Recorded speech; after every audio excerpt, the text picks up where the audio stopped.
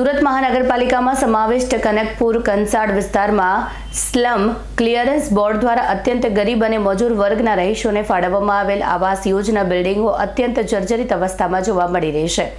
ત્યારે આવાસોની દિવાલો, પ્લાસ્ટર અને સ્લેબના પોપડાઓ પડી જવાની ઘટનાઓ અવારનવાર બને છે. જ્યારે ગઈકાલે સ્લેબ પડી જતા ઘરે કોઈ ન હોવાથી મોટી અકસ્માતની ઘટના સદનસીબે કોઈ ઈજા થઈ ન હતી. જેથી આવાસોમાં રહેતા નાગરિકો ખૂબ જ ભયભીત થયા છે. આમ આદમી પાર્ટીના કોર્પોરેટ ધર્મેશ વાવલિયાએ જણાવ્યું કે કનકપુર કંસાળ ગુજરાત હાઉસિંગ બોર્ડ અંતર્ગત આવતા હોવાથી જિલ્લા કલેક્ટરને રજૂઆત કરાઈ છે.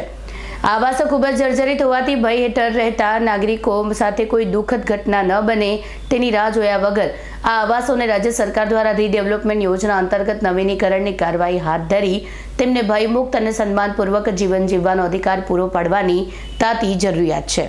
જે અંગે તાકીદે જરૂરી ઘટિત કાર્યવાહી કરવી જોઈએ. વધુમાં ઉક્ત કાર્યવાહી અગાઉ તેમજ હાલના જેઓના ઘરો જર્જરી થઈ ગયા છે, તેઓને પડી રહેલી અવગણતાઓને ધ્યાનમાં લઈને તાકીદે જરૂરી વૈકલ્પિક વ્યવસ્થા પૂરી પાડવા રજૂઆત કરાઈ છે.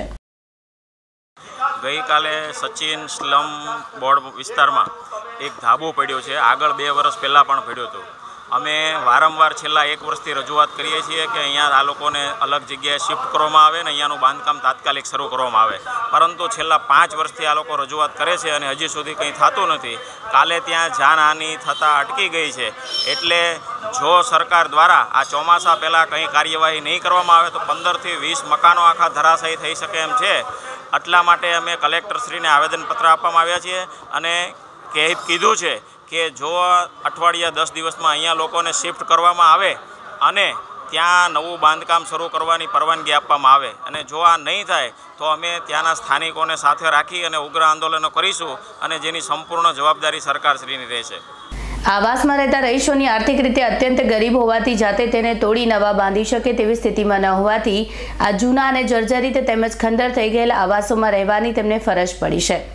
સુરત મહાનગરપાલિકા દ્વારા બનાવેલ વિવિધ પ્રકારના ટેનામેન્ટો ઈડબ્લ્યુએસ આવાસ યોજના ફ્લેટ પૈકી બેસ્તાન ખાતેના ઈડબ્લ્યુએસ આવાસ યોજના મકાનો વર્ષ બે હજાર બાવીસમાં બનાવ્યા હતા. તેમજ વર્ષ બે હજાર ચૌદથી જર્જરિત અવસ્થામાં આવી ગયા હતા. અન્યથા, આવાસોની કામગીરી પર નબળી હોવાથી ત્યાં પીવાના પાણીની લાઈનો તેમજ ડ્રેનેજની લાઈનો જર્જરિત થઈ હોવાથી ત્યાંના રહીશોને ભારે અવગડતાઓ વેઠવી પડી રહી છે. Bureau report, Surat.